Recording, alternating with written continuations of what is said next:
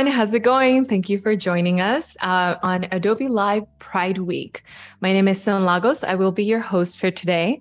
I see already that there's a few people joining us on the chat. Thank you. Uh, de- definitely, uh, if you're on YouTube or on Behance, join the chat. It gets to be a lot of fun. So, hi, Doris. Hi, General Kenobi. That is amazing. Um, hi, Sean. Uh, and hi, Sam. How's it going? So today we are joined by Toren Reaves. Uh, he is a creator, and today we were going to be working on something really cool. And I'm going to let him take on the stage here and uh, invite him to let us know a little bit more about himself and his project. Yeah, thank you, Cyn, so much for uh, for having me and, and hosting me, and uh, uh, everybody who's in the, the chat already uh, contributing. I, I hope uh, to get to as many questions uh, as as you guys have in the in the time that I'm I'm live. Awesome. Yes. Uh, sorry. Go ahead. Yes. So we already see here Francisco, Steve, um, Sam is just always on, like joining us and keeping us, you know, excited. So thank you for joining us here. Um, yeah. If you have any questions, um, definitely join in on the chat and I'll be relaying the questions over to Toren. Yeah, thank you. Can can everybody see my screen all okay?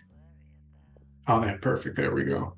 Um, yeah, so we'll just expand this. But yeah, so today's project, I think, is best given with a, a little bit of context as to, to who I am and, and, a bit about my story. So I'll try to be brief, but um, yeah, so I, I, graduated from college in, in 2010 with a, a BA in, in, English and uh, naturally started cage fighting as, as one does, and uh, kind of found my my footing and my my placement in the world over the course of a, a few years of competing in, in boxing and jujitsu and kickboxing and like I said MMA and wound up at this really cool place in Rochester called the Community Place, which uh, hired me to teach kids who were at risk um, so they could get their GED diplomas. And I think I was 24 at the time, and I had students as old as 28, and I was working with kids who, you know, were really disenfranchised with the local public schooling system. And I actually was uh, the beneficiary of of being able to go to a, a pretty prestigious uh, college prep school for my entire undergraduate career. And I just remember thinking when I was working with those kids, like, there's nothing inherently special about me that would justify mm-hmm. the opportunities that I had versus what they had. And and uh, a lot of my time there really, really had a, a pretty profound uh, impact on me and, and really paints a lot of what I do moving forward. And at that prep school, I was the only male person of color in my entire high school from yeah literally from ninth grade all the way till i graduated. And so i didn't really have too many black male role models uh, to look up to while i was there. And you know when you're a teenager you're already kind of dealing with with just a lot. And so i think that um you know uh, i definitely ran my teachers uh, uh for a loop. And I don't think when I graduated or by the time I graduated, I had a really good reputation as a, a student. And that's uh, pertinent for, for what today's project is, because I, I went to, um, you know, the school I went to was right in the suburbs of, uh, of Rochester, which is a very affluent area. And then I lived on one of the worst streets in, in the entire city. And so today's project kind of speaks to, to that, um, that street that I'm from, because I'm, I'm in a place now professionally where I can kind of, um, represent myself and my history in my own terms. And I, I would like to think that that's something that I really embody through all of my business practices and something that hopefully uh, touches a, a, a, vein thematically with, with this month being Pride Month. Um, you know, I, I, I, can't imagine what it's like. I was talking to a, a friend of mine who was telling me her journey about coming out from the closet. I just, I can't even imagine what that process is like. And so just being able to sit and listen and learn, um, you know, to not to have an experience where I have the privilege where I don't have to consider telling people what I'm into is just so different. And uh, I, I, always try to make sure that you know I take those lessons to heart and and make sure that especially for this month I'm I'm not falling foul of some of the things we see larger brands do where it feels like a bit of tokenism. But um, mm-hmm. I'll, I'll, talk more to that later. But as soon as I um, left the community place, I knew I wanted to do something in marketing And I, I started at one of Rochester's more prestigious um, marketing agencies. And I felt like I had all this talent that was just kind of not being spent. And I, I learned a lot. I started as a paid uh, search, like a pay per click specialist. And I thought, like, okay, I'm going to start in paid search and I'm going to work my way to, you know, being a content producer. And that was just not the track. And like my high school experience, I was the only person of color in the entire building. Um, and so I bounced around a few agencies. And then right at the start of COVID, I lost my job and I started Kesa.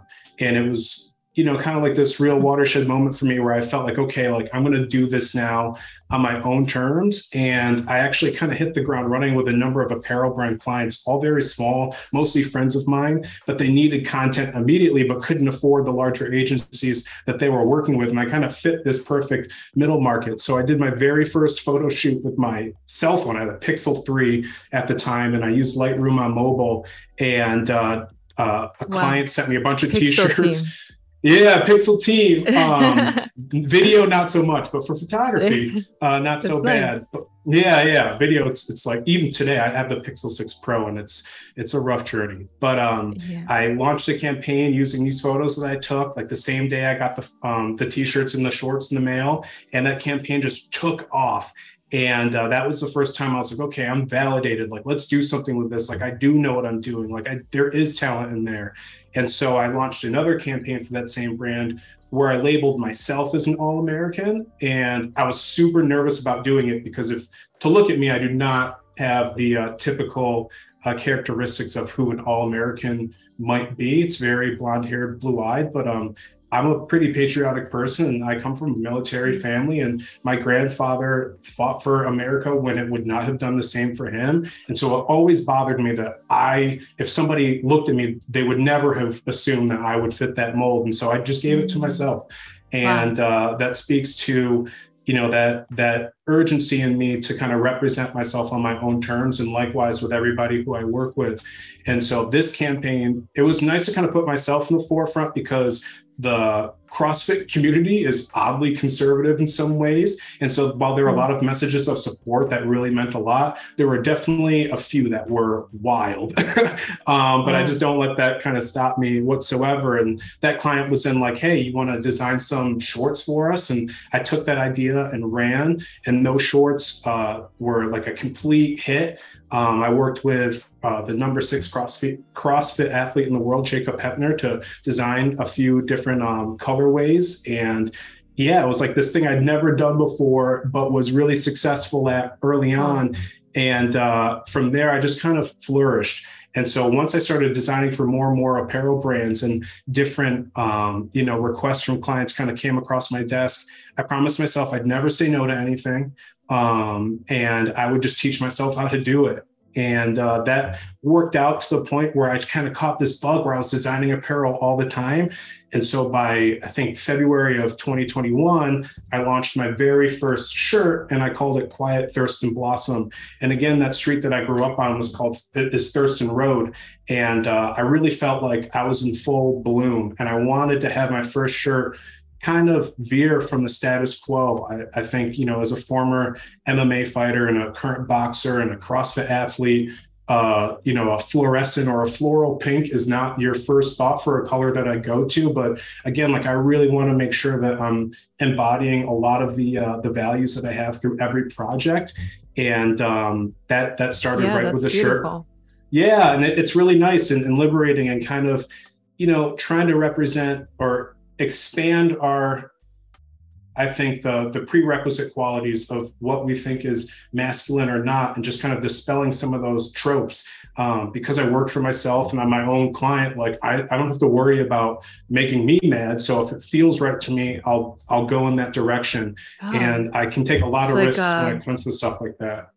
Yeah, it's like a nice experiment because you have a hold of the narrative, and then you have to sort of what I'm hearing from you is like you have to be able to then have some insights of what is it that you believe in and have Yeah. some sensibilities for the world beyond you right? Um, so like your friend coming out or your understanding of who, how to represent yourself as an american. Oh I completely hear you on that end. Actually penny also really loves crossfit so she's on board with you on that front. Um, so that's really really cool. Uh, can you tell us a little bit about um, how this uh, begins to correlate to what inspired you inspired you to create the project today?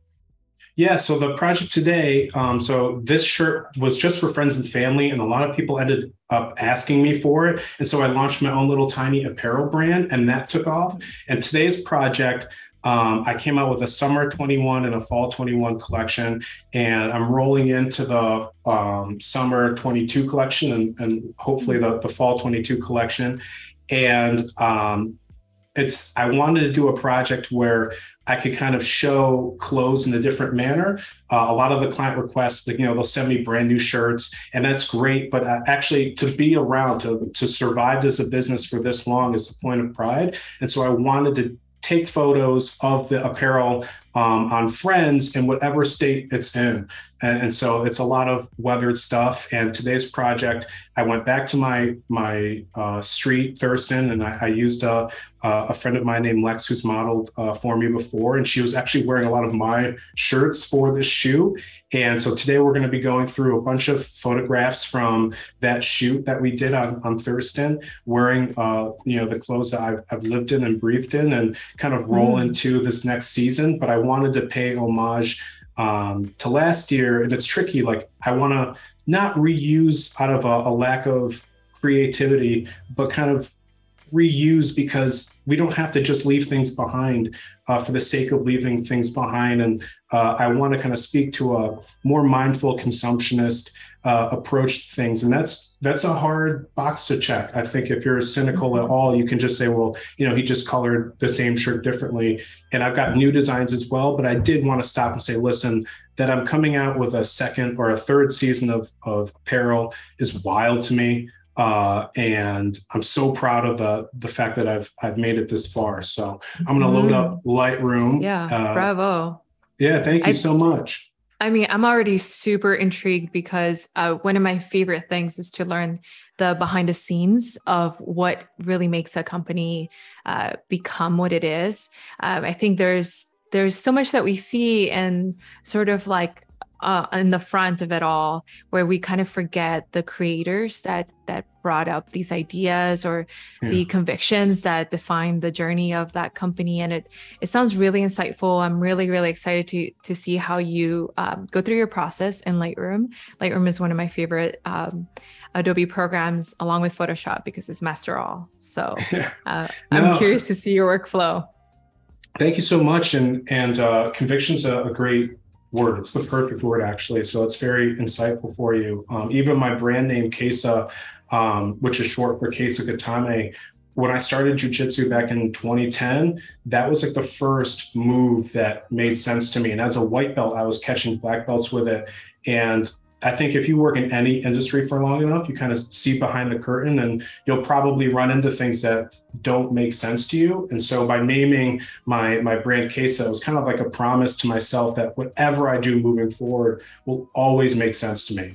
And if it doesn't, then there's no room for it. And I didn't think at the time how liberating that would be, but it saved me so much trouble and heartache. Like I've never Mm. taken on a client that I didn't believe in, uh, or I've never stuck with a project that didn't make sense, or if there's a business practice that felt untoward, I just don't do it. And uh, it keeps me on the level because even if something fails, uh, I'm I'm perfectly fine with being held accountable for it because I, I know where it came from and hopefully that's communicated with the actions that I take and the business practices and you know all the way down to um, you know the, the models that I work with and how I try to represent people to the best of my ability on, on their own terms. And as far as Lightroom goes uh, I'm sure that there are going to be a lot of experts in, in the chat and you'll, you'll probably find I've got a very iterative approach. Like I am just that that weirdo who just like I like toggling things and just saying like, well, what what works? Like what what am I trying to get mood wise? And again, this yeah. is like right on the corner of my street. So I'm I'm ready to dive in. I, I figured at first we'd just go through some of the photos and I can kind of start selecting like which ones I want to work with a little bit today. And then Great. we might edit our way through uh, whatever we have time for if that works for you guys. Yeah. Yeah, I, I also love that. Um, let's invite our chat here to collaborate with us. If y'all have have any tips or um, out on youtube our youtube community uh, if you guys have any tips on some of your favorite um, resources or features on lightroom that you would like to share with us and maybe we can explore some of those here live definitely join the chat and i'll be reading them reading those to Toren yeah um, and so this is a photo that is actually of me in front of my house on Thurston as a kid. And when I came out with that shirt, I actually I designed a box that went with Quiet Thurston Blossom. And I wanted people when they opened it to feel like it was blooming. And so the inside of it is that photo in the background. And so I wanted to kind of have that mimetic response to um, to opening. And I spent more time and money on on the boxes than I did on the shirt itself. But uh, so this is kind of my barometer for like I like that there's a little bit of grain and that you know the clarity is not the greatest, but the the shadows are strong. And it's a pretty warm photo. Um, and so I'll probably lean in this direction, but of course, I'm always open to deviating 100%. Um, but I, I do, I think for me, the idea for some of these photos at least is to kind of speak to that past in a way that's also a little bit more forward thinking. And uh, this is again, Lex, hopefully it shows well. Um, we might have to zoom out a little bit but yeah, she Lex is a complete force of nature, and um, she's a good friend of mine from Buffalo. Um, and uh, yeah, the first shoot that we did, I just I was so struck by like I think one of the more contemporary tropes of portrait photography that I have seen is kind of like this soft blank exp- expression, which is totally fine. Like if that if you can make that work, like God bless you, because I absolutely cannot. But whenever yeah. Lex is like looking at anything, she's it's it's like you can tell she's considering it at a very high degree. And I don't know, like when I look at something, like if you just catch a candid photo of me, I look completely confused because I probably mm-hmm. am. But Lex is like the exact opposite. It's like she's thinking about something at a genius level. And uh, I just, I am so awestruck by it. And so um, most of my favorite photos of her historically have been just her like looking around and waiting for me to get my little act together. Um, I love yeah. I love when you have a, a subject or uh, that also tends to be somebody familiar. So you have this like um, sort of uh, interaction with them that is a little bit different. And I love that you're catching those little elements about her being challenging in a way. That's so yeah. Cool. No, uh, I don't really work too often with paid models. Um, and so like a lot of my friends are just like, hey, I've got like an afternoon just because my schedule can be so wonky. It can actually be hard for me to be like, okay, in six months, I've got this like hard date set. Um, and so for me as a photographer, I found early on using mostly my, my friends and family, it was really important for me to just make the subject feel comfortable. And whatever happened once we kind of cleared that hill, those were always the best photos.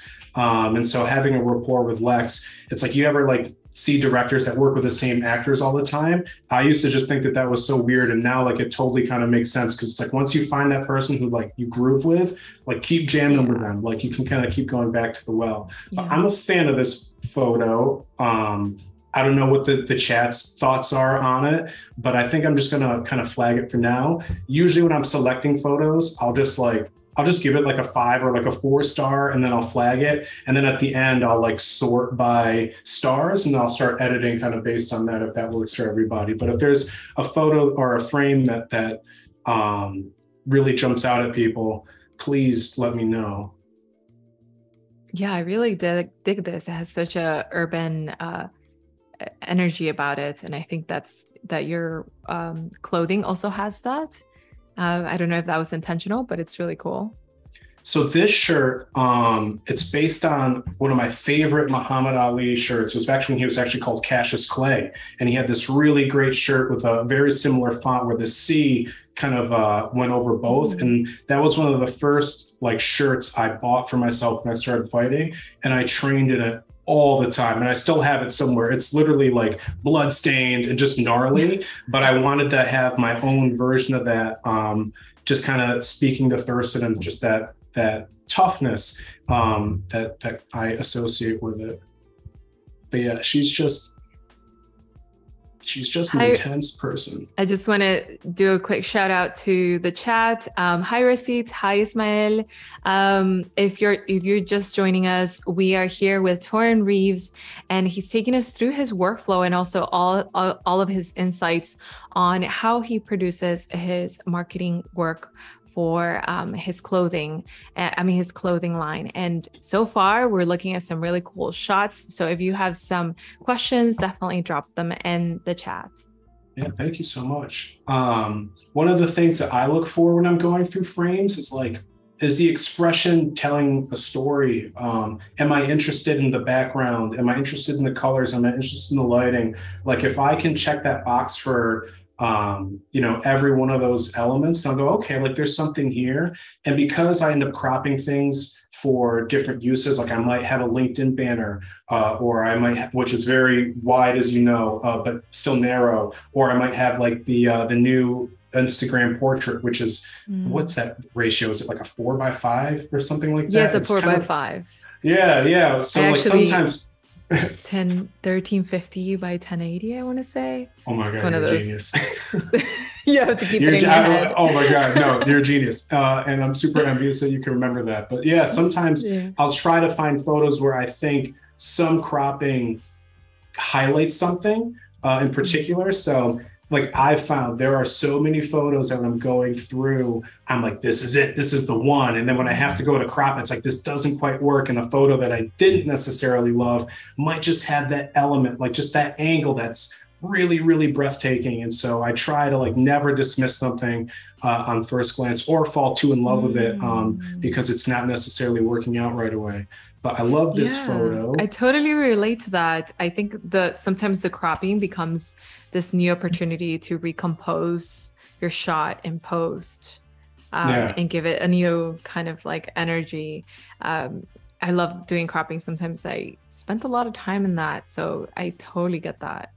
Yeah, yeah. Cropping and then placing the logo like on the center. That is my favorite exercise, like overlaying font on an image. And I really like placing font like in the position we'll probably do more of this tomorrow that kind of bothers you a little bit like if you just scooted it over a, like an inch like i like it way more um because i think that if you're engaged in it to that degree then you're really spending some time with it um and i think that that's that's a good thing by and large but yeah i love oh my god you're such those... an outlaw you're like i want to break the rules but the rule well, is to break the rules.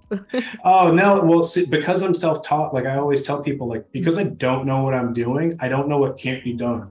Um, and so I, I had a, a, conversation with another local design firm, and they were like, "Well, do you know all these like rules about graphic design?" And I was like, "No, like I don't know shit. Like I just do right. what I like. like that's that's that refreshing. Exactly mm-hmm. yeah."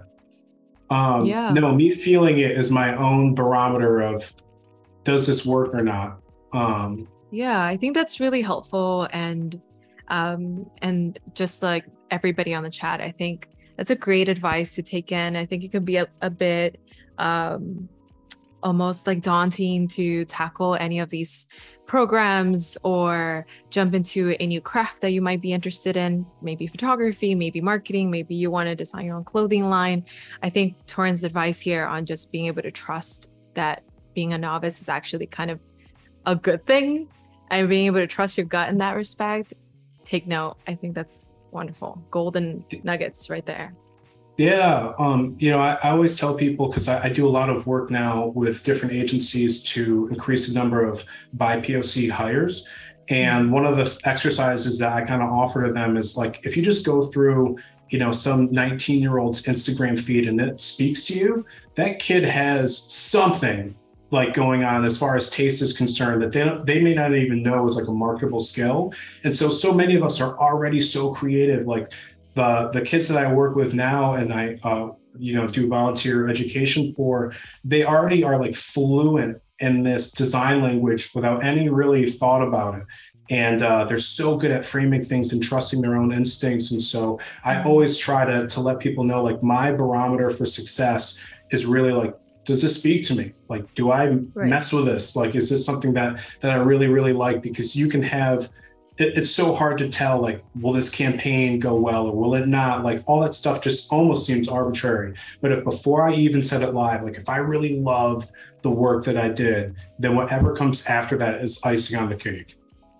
Yeah absolutely. I, I mean it's really interesting to to observe children uh, learn something brand new and it's almost like well how can i go back to that uh, that foundation but being able to trust my instinct. And also, once you learn something, being able to say, okay, I'm going to let that go, allow that to be kind of in the back of my brain and just uh, yeah. feel it as an instinct as opposed to uh, let me follow that rule. Because it can be stifling, right? It's like the whole idea is to be creative. Um, so it should be fresh ideas from wherever it comes from. Um, yeah. I also like the fact, I was just going to say earlier, by trusting your own instinct, I think you're probably uh, as a consequence relating to other folks that come have that same experience as you. So you're being really uh, you're honoring that experience and within your work. So you're able to relate to other people that you know among so many people that we can have that are actually genuinely uh, connected to your brand. Yeah, no, that's really insightful, and I've never thought of it that way. Um, yeah, but but yeah, I, and I think that that's one of the many reasons why like representation and, and advertising is so important, and why I'm such an advocate for it. Um, in Rochester, as of last year, there were more ad agencies locally than there were Black men employed by them, mm-hmm. and uh, that's just crazy to me in, in, 2021. And so I brought that statistic to light on LinkedIn and then tagged all the local agencies in it and then did that on Facebook and Instagram. And they mm-hmm. weren't happy at first, but everybody reached out right away. And now we're doing like development programs to increase the representation throughout the office. And yeah, I'm also a firm believer, and this this goes back to the overall theme about like representing yourself in your own terms, that it's not enough to just be the token black person in the office. Like I want blackness to be allowed in the office, if that makes sense. Mm-hmm. And um, you know, I, I wonder oh, if, yes, if, you if you felt that being um, you know, within marginalized communities yeah. yourself. Yes. Yeah. Um yeah, so interesting to say the way you just said that because it does um it goes back to like a, to a moment where I used to say that there's that energy that uh, is part of your culture that can sometimes be uh, like the volume gets turned down a little bit, right? Regardless of if you present represent yourself as Latino, Latinx, for example, I can't escape it. I, am really brown. I, I look Latina. My curls. I don't know. Maybe my accents, right? You probably hear it.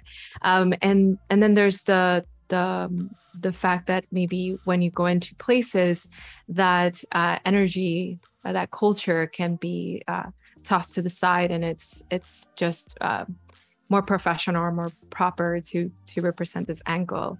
So uh, that I, I get that. I get where you're coming from from that perspective.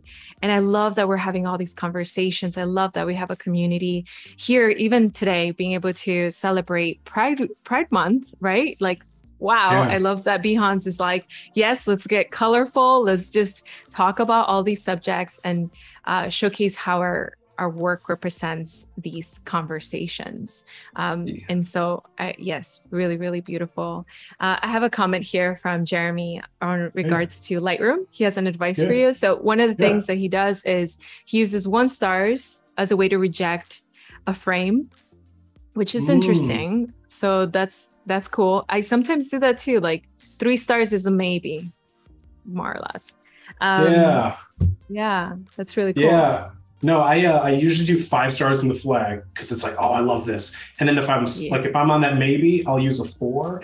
But I'm, I'm always reluctant to like go lower than that because like in my little like heart, I'm like, well, what if like what if somebody like saw that I gave this photo of them a one star? Like, do, will they think I don't think that they're like beautiful or you know or attractive? Somewhere like, down in history. Them. Yeah, it's like I don't want you to ever stumble upon that. Like I'd feel terrible. Um, so I usually go with a high mark and then just kind of go back through. And there have been so many times where I've been like, I did a project, I finish it, and then eight months goes by, and it's like, oh, like let me revisit this. And some of the frames yes. I didn't like mark at all suddenly just have this like new use and purpose, and I'm like obsessed with them. Um, oh, absolutely. So, yeah, yeah. yeah so I've always revisiting to, to your archives. Yeah, revisiting your archives is really vital. I I'm glad you do that too because you never know what you reject, and then you see a new opportunity down the road. Yeah, um, Cyn, I'm so also, glad you mentioned that. Oh, no, please go ahead. That little flag that says rejected uh, that that's hard for me to use. Yeah, yeah, it's tough. It's like, oh, yeah. wouldn't reject anybody. But no, so I'm a chronic screenshotter and or like picture mm-hmm. saver. Like if I see something, I save it, and I just put together for my last two collections, I put together an editorial kind of like on the inspiration behind them. Mm-hmm. And so I've got screenshots and like JPEGs literally from 2001. And I went through everything that composed this editorial. And it was just organizing all that stuff was such a massive undertaking. Mm-hmm. Um, but yeah, I love revisiting work. And uh, it was so like funny. Like there were a few pictures that I knew in my mind I had in a folder somewhere and like went on the hunt for it for like hours. And then when I found it, I was like, oh, this is like resolution from 2004. I have to refine this photo like at a like an actual oh, decent yes. resolution now. So it was uh it was crazy. So what do you what do you like using at the moment to archive your photos? Because as a photographer, uh, I imagine there's plenty of that that you need to be able to store. Yeah, so Lightroom does a lot of the heavy lifting. Um, I have a pretty, uh, I have everything backed up on like Microsoft OneDrive. I have hard drives stuff. Um, and then likewise, I have like a Google Photos account um, and like my Google mm-hmm. Drive. So there's like a lot of redundancies just in case something happens. But um, yeah, I'm like yeah. one of those those people like when I get a new phone, I keep the other one pristine. And so it was really cool to go back to like my iPhone 4S from 2010 and just like scroll through all the screenshots and mm. uh, Instagram looked so different back then. But um, oh yeah, yeah, totally. so, yeah, yeah. So but I'm I'm always talk like about rebranding. Sure I, yeah, uh, I'm always trying to bring the the past uh, or at least represent it in what I'm doing yeah. moving forward. Yeah, I actually that's one of my favorite things about Lightroom versus Lightroom Classic. Oh, wow. The ability of having my images stored in the cloud. So to some extent, I know they're there safely if all else fails. Um, and just being able to have access to them. I don't know if you ever play with Lightroom on the iPad or um, on your device. That yeah. accessibility is like wonderful for me for my workflow. Yeah, so I, likewise. I, I welcome you to use it if you haven't used it. Yeah, uh, it's especially important for me on my phone because it, you can look at something on a monitor all day and it's like, okay, like this giant image on this giant screen looks a certain way. But then when I like look at it on my phone, I'm like, uh, like, oh, like this isn't translating or like the colors are completely different. Um, mm-hmm. And so I've been really considering switching back to an iPhone just because that's like the most ubiquitous screen. That's how most mm-hmm. people see most images ever. And um, that, that would definitely be a good touch point for me to just kind of have in my pocket all the time, just to make sure that all the editing I'm mm-hmm. doing is translating on the medium that it's most likely to be seen on. Wow. Yeah. I, I don't know how, how true that is. that uh, the majority of people use iPhones. I have encountered a lot of people with Androids, so yeah. I would be really curious to not um, or like in Asia, there's a lot of people that use oh, Androids. Yeah. Um, I went to Costa Rica recently, and I just kept seeing people with Android phones. And mm. I, I have no sites whatsoever. I've used both uh, at some point. I mean, I, I love my Google Pixel, but I have had that question in my mind like, being able to be in a in a place like Costa Rica and knowing that even here there's a person browsing potentially your work in a different language altogether. But yeah. you know it's it's kind of intriguing i guess from a culture aspect from a uh, just a study of like how we behave as humans to be able to know that that that's a thing. Um it was a bit mind-boggling for a little bit there yeah, no, that's that's great insight. I, I think because there are so many variations of Android phones that any one display kind of might get yeah. kind of lost in the weeds. But just as in terms of like this is this is the display that we're all using. Um, I guess I was I was under the assumption that that it was Apple, but no, you're totally right. Like different places, like I know in Africa they use or yeah they use like a ton of Samsung. Like that's just the brand. Um, and so it's yeah. it's crazy to to learn about those differences. Right. But yeah, actually, so my I mean, mom's house or the house I grew up on is like right behind this tree. So this is like a complete trip and we also we did this photo shoot without like i just we drove there did this shoot and left and i was like okay if my mom comes outside and sees us like it's going to be a half hour of us talking to her about embarrassing stories uh, so i'm just going to like try to do this covert op style and uh, it completely it completely worked i love this i love I, I know i love that like environment just being able to do that vanishing point is is a good select there yeah. But yeah, she always looks just like so locked in. And uh, these were shorts that I came out with um, shortly after I launched that shirt. And uh, I love naming things. And so I uh, I designed three pairs of shorts based on like the first three dates me and my wife went on. And on our very first like major date, she was driving me someplace and I was like, where are we going? She goes, Niagara Falls. I was like, well, how are we going to cross the border? Like, I don't have my passport. And she's like, no, I've got it. I was like, where did you, where did That's amazing. wow. it's, like, it's like a felony. like I barely, I barely know you. Um, so yeah, that was, uh, so these shorts are called Remember Our First Date. And so I, I took the, the hex code from photos of That's us so cool. um, at the falls and just try to make that, nice. that color uh, embodied into that. Yeah. Ooh. So I, I'm, I'm, a, these are like a, yeah, these are like a very emotionally tethered pair of shorts to me. And uh, when I was designing them, she was like, "You should have a logo right there," and I was like, "Sure." And so I put the word "sure" right on the on the shorts because I couldn't think of what else to put. It was a placeholder, and it turns out I like actually liked the way it looked, and so that's her super like she's just off the cuff like great contribution so it, it speaks yeah. to that like just what people feel in their hearts like when they just say it that can be the best design cue that you get do you find yourself sharing uh, your portfolio work on Behance and putting snippets of that story? Because I'm like super intrigued the the the storyline of like creating some uh, an apparel, but like beyond just the working part. But like I love that sentimental touch to it. Yeah. So the the editorial I was speaking about earlier, the refraction, um, the expanded version is up on Behance.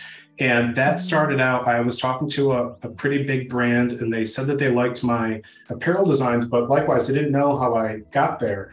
And so can you just put together like a little something for us to kind of explain like what your creative process is? And so that yeah, little like nugget, yeah, it was a great idea. And that little nugget turned into a 200 and something page editorial that like I've spent the last six months obsessing over. And so it definitely, without being too on the nose, I hope, kind of guides people. Like I'd like to show like this was the vibe, and then this was where I ended up. And like I like to let people kind of come to their their own conclusions about it. But there are a few times where I'm, I'm a little bit more direct or uh, declarative in, in how I, I came to what I ended up designing. But yeah, that's yeah. um it's it's fascinating to, to see that stuff. Yeah, I love sharing on Behance directly from Lightroom too. So I've um, whenever you guys are are completed with something on a project on Lightroom, I that's a little tip or feature that I had no mm. idea existed, and I was like, wait, hold on, I can just grab everything from here. Yeah, it's like I've been on Behance since forever, and it feels like so many things have changed. So many little cool features now that just like start surprising me. Um, yeah. So no, that's such great insight. I'm pretty new to Behance, so it's cool to hear like how there are still little like tricks hidden like underneath the, the corners. And when I stumbled upon that you could add your Spotify playlist I put that right in that um, editorial of mine because I nice. I'm like weird. Like I'll listen to the same song on repeat for hours because I'm trying to like live in that vibe when I'm designing or like photo grading uh, or, doing any color correction. And so I was like, okay, here's a playlist of all the songs that I had on loop like during this entire past year of, of working. And so that's right at like the top of the uh, the editorial. And uh, Behance is so awesome. Like if you think about all the the negative sentiments people have towards social media as a whole. Behance is like the one social media platform where everybody on there is just kind of with it and very supportive and encouraging. Like I haven't stumbled upon any negativity whatsoever. And I'm sure that maybe it exists somewhere, but that by and large, you can go on there and spend a, a fair amount of time just looking at stuff that's all kind of curated to help you be more creative and to add something to your day to day is something that um that Adobe should really be proud of. Yeah, I love hearing that. I love hearing that because I feel the same exact way and haven't had a bad experience at all. It's like yeah. um it's almost be- become a space to uh hone in on the kind of audience, my my target audience, which you know, that's the branding technical term, but in reality, I just want to connect with people like me people who have still that love for the craftsmanship of design and graphic design and other designs out there, other other disciplines that involve creativity, which I totally find on Behance, where maybe in places like Instagram and Facebook, all those things, it's a bit more saturated with other things. Uh, so it's not as um, as true to like the craftsmanship. Somebody just oozing over. Oh, I love this this editing style that you did on on these images. Like yes that's the conversation i want to have about how we create different styles which by the way i'm curious to see um, how you edit these images. Do you transform them quite a bit or do you like uh, just um, you know improving the quality of the image? So um, i can start going into some editing pretty soon. I think we've got a pretty fair selection of photos that i'm into um, so yeah, let me sort this by star rating. And yeah, I mean, it varies. There have been times where I felt like I played it a little safe. And then there have been times where like I really pushed it and I was like, okay, this is kind of surreal. Um, really, I just try to go with what what feels right. And there have been times where I found a look that was very different than what I ended up with like long, long term. Like I go through entire like production of this is like the look, and then I revisit it like we talked about, and then go, well, let me now that I've learned some stuff, let me like take another whack at this, and then I completely change it. Um, but yeah, for this one, again, just kind of going back to this reference photo, like I I do want to have a somewhat nostalgic feel, so I I can definitely see me kind of maybe playing around with like the luminance uh, a bit with the uh, the greens. Like I, there are a couple colors that I'm a big fan of, and I like greens for whatever reason, and like blues.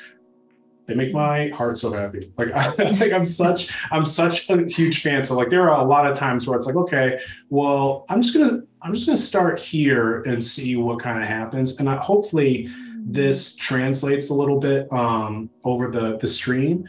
Uh, and if it doesn't, my my apologies for sure. But like I'll play around with like the hues of the greens. Um, I think the the darker it starts to look a little bit more candy-ish. And I, I think for this, like I want a warmer photo because Rochester, for those who are unaware, has like an 11 month winter and so summers are so special to me like like it will it will snow in may like you can mess around and be like yeah we're about to get 11 inches of hard snow uh may 16th yeah it's it's the absolute worst like whenever you think you've escaped it it's like it's like uh jason where it's just like it's just walking behind you forever uh and so when we do have perpetual summers snow yeah, perpetual snow. So summers are, are super important to me.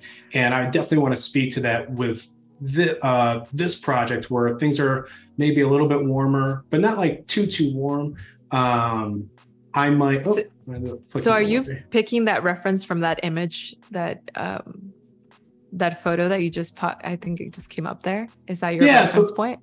kind of like uh, so when i like speak to reference points like i think that there are people who are way more technically proficient than i am who will go that's the value of green in that photo i will make that the value of green in the other photos that we're working on now for me like a reference point is like again like very loose term like just like what's what was the vibe in that photo like what emotion am i getting from this what's it making me feel and then how can i take those feelings and use the techniques that i've i've learned and put those in here the best that I can. So sometimes I end up designing very far away from that. Uh, and that's totally valid as well. Yeah, yeah, definitely. I like that it's not too specific so that way you have room for different creativity and you allow your yourself some room. Yeah. But yeah, again, these are all my clothes. Actually, I'm wearing this shirt right now and these sweats. Um, and I love that like Lex is always down to wear because for my brand everything is unisex to the best of my ability um, yeah. a lot of the manufacturers will have different cuts for different genders but I, I, didn't want anybody to feel left out with the apparel that I was making. Oh, and so yes. I try to like speak to that with the sort of clothes that I have on the models. And again, Mhm. like um, just sort of the the connotations of of how I'm posing people or the poses that they're in and where I'm shooting from. Like I don't want anything to be exploitative. And I think that there's a way to be um, appealing and attractive in a way that's not necessarily tropey, if that makes sense. Mhm. And uh, to the best of my abilities, I try to find that. And then before I, I set anything live, like I always check in with the model and go like, do these photos work for you? And uh, if they Mhm. say no, then then we have to uh, move away from them, and uh, that's totally fine. Like I'm happy to do it. Yeah, I love those sweats, by the way. Oh, them. thank you. I will have to. I will have to send you a pair. yeah. So yeah, absolutely. That's such a great point. I think it's one of the hardest things to do is shop for neutral uh, clothing that feels like it's not too specific to a certain idea of what my personality is supposed to be or so on. Sometimes I, I, I step into like a guy's um you know outlet and I think to myself, but come on, I love all these color palettes and I love Yeah. all these patterns. What happened?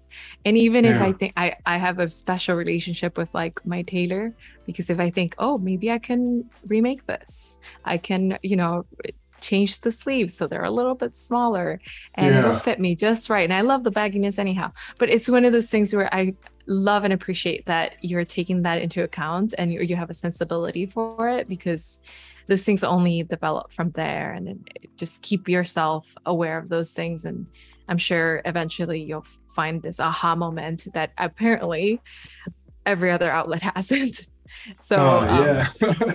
yeah no, it's. good I, on that. appreciate it. It's. It's good to hear that that the effort like it does mean something to people like when you just spend the extra time being a little bit more thoughtful um you know because i think a lot of times like you don't realize if you're kind of of the privilege where they always have clothes that that fit me. I'm six foot like uh typical body. Wow. like it's not like like they always kind of have stuff that that is tailored to my build for the most part except for pants. I have to get those tailored because my my legs are kind of big. But Yeah. i don't have to worry about well does like the colors that i like are they offered in my in my cut um in a way that i find flattering or a way that i like and so to think about that um as a designer with my own brand it, it definitely makes me feel good to know that that people do appreciate it and it, it's kind of bittersweet because i wish it was more ubiquitous um but yeah, yeah. with this one, I think I'm gonna make it a little bit brighter. I love a good bright photo.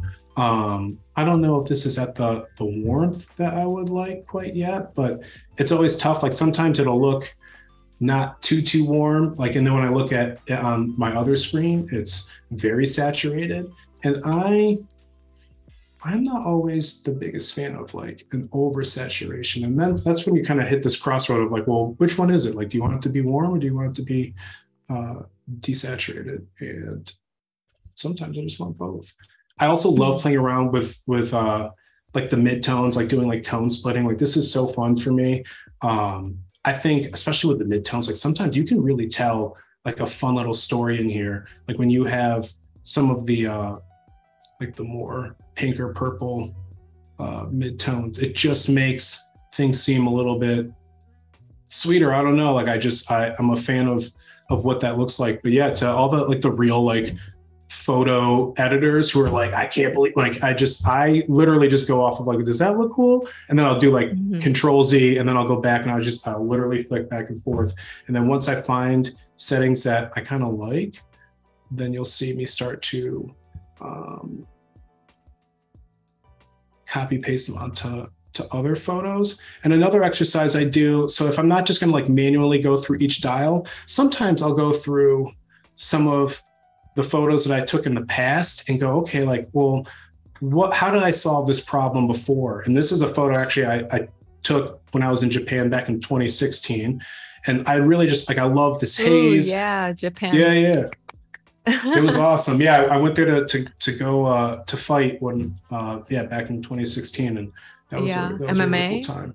Yeah, yeah. It was. Uh, I had this like very Street Fighter esque like life fantasy where I was like, I'm just going to knock on the doors of all these MMA gyms in Japan and just see who wants to get busy. And that's literally what I did. Like I just Google mapped like my favorite five gyms and I went there and everybody was super cool and we got some work and it was, uh, yeah, it was my wife and I went to watch her cousin play uh, at a MMA tournament, and in it we're also little kids.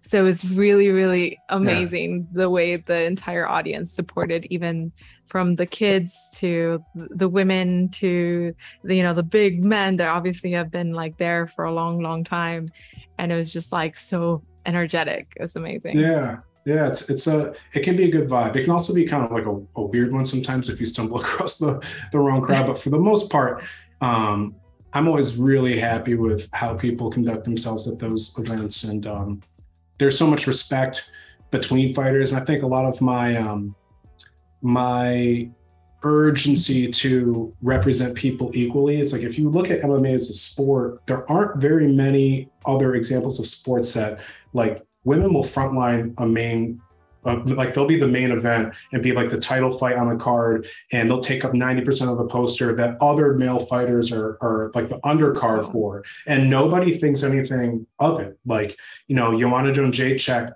Is one of the most respected fighters period. Not like because like not amongst women or not because of her weight class but just flat out period. And when you train mma it's the same vibe in the gym. Like everybody just kind of gets it in that one way. And so to kind of have those barriers be not a problem or not be a hurdle uh, i think it's a, a cultural vibe that I'm, I'm very much about. Absolutely, especially in sports, it's it's not really the standard for other sports, so it's absolutely notable. No, and like even when I fought, like I shared the same locker room with female fighters. Like we were backstage, like getting ready. It, it didn't matter. Like I was so locked into, you know, what have I got myself into uh, that I didn't really have time to, to think about anything else. Like what on earth? Yeah. Like I completely am about to ruin my own day. But yeah, this um this photo was from Iceland. My wife and I went for our honeymoon, and uh, again, I think it's it's kind of probably becoming prevalent. I really like like hazier photos. Um, but this was um, a series of photos that I think if we like revert back to the original settings, very boring. Um, and then I punch this up a lot. And sometimes I like just seeing like, okay, well, what would it look like in one of these pictures if I did the same? So let me let me go back to where was I? Like even here. Yeah, it has similar it has a similar light condition, so you're able to play with that same filter. That's cool. Just adjust Yeah. it. And Ooh, like sometimes I'll- really nice. Yeah, I'm a big fan of this. So we're gonna, we're gonna flag this five stars. I even like the cones in the back being like this pungent orange. Yeah, yeah. But this definitely this I think what I like about this color treatment is that it's kind of hard to peg like what year did this take place? Um, if that makes any sense. Like it's a little bit more ambiguous. Yeah. Some Sam photos I feel Oh yeah, sorry. Oh, Sam says uh, those colors adjustments made a huge difference. Yeah, it looks kind of different, but not in the way where it just starts to look like you know fantasy. It still relates to like an urban environment. Yeah, it's Really cool. grounded. Yeah. Um, I don't know if you uh, are familiar with like I, I love the Kendrick Lamar album Good Kid, Mad City. And I love like how on the front of that album he has a picture, it looks like a Polaroid of like I'm assuming his family's Dodge Caravan and just how grainy and beat up that photo is. And that was one of the first times that it kind of dawned on me like you can be proud of something that isn't necessarily of the highest technical quality and still make art of it. Like it, it's very artfully placed. And i think um like i am not a fan of gatekeeping in any regard. And so the more things that like i can do and practices that i can embody that kind of validate more approaches to to art and, and to photography or graphic design i think are better and uh, that album cover was very um, important to me in that regard where i was like oh somebody's somebody's taking this this type of photo and putting it front and center of what's a top 10 album of all time uh, in, in Yeah, terms of rap It's it's really reminiscent to um an uh, one of my favorite bands, the Black Keys. the cover is also a nostalgic image of a vehicle. I don't know why we have such a fascination with like vehicles, trains, airplanes. It's like anything that takes us somewhere. It's like, let's take a photo of it. Uh, but yeah, that's really important that you keep in mind that, you know, it doesn't have to be always technically sound or a certain class level. In fact, those things are really kind of contradictory to being genuine to like the real life experience. Um, yeah. Yeah. One day I think I have this idea that one day we're going to look at like these iPhone 4, 3, whatever um, images. I, I have some of those and say, wow, like that is the film of today. You know, that is the that nostalgia um, yeah. energy of maybe yeah. 2040 or 2060, who knows? But yeah, the way technology moves.